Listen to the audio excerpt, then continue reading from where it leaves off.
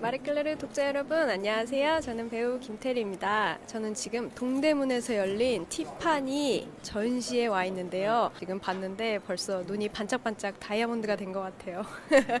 여러분들도 더운 여름에 오셔서 즐거운 시간 보냈으면 좋겠습니다. 항상 건강하세요. 감사합니다.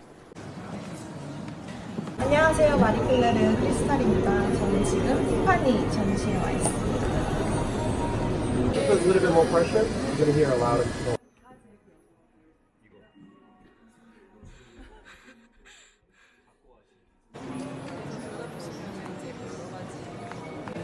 저희 티파니만의 윤리적인 경영을 나타내는 거예요.